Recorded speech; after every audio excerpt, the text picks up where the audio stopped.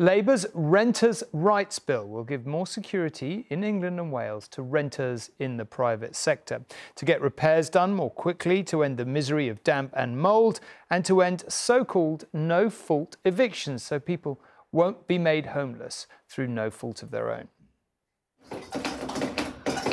It is the sound of crisis. If Labour wants to fix it, this is a good place to start.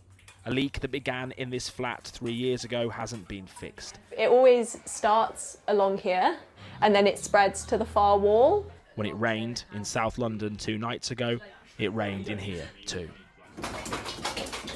Zoe and Lexi pay a private landlord £2,000 a month to live in squalor.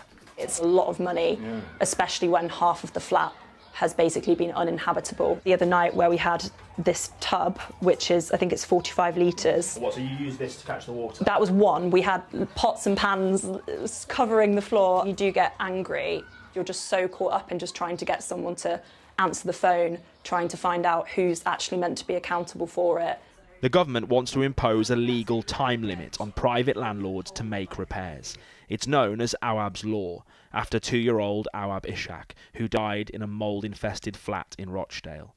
We were with Awab's parents on the day the Conservative government told them of a new law in their son's name.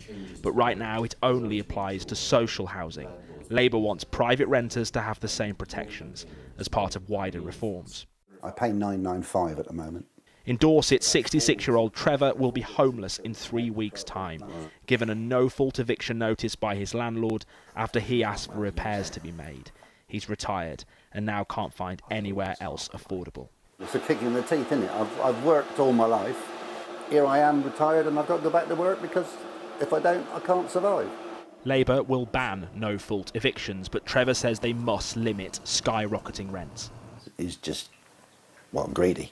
There's got to be a cap on how much they can put it up by each each time. Labour has ruled out rent controls, but landlords think the reforms go too far. Neil has seven properties, but warns many will simply sell up.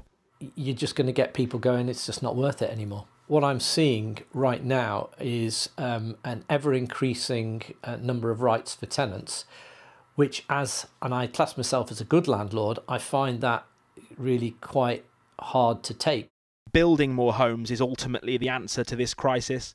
For now, for many, finding a safe, secure home will be a start. Daniel Hewitt, News at 10.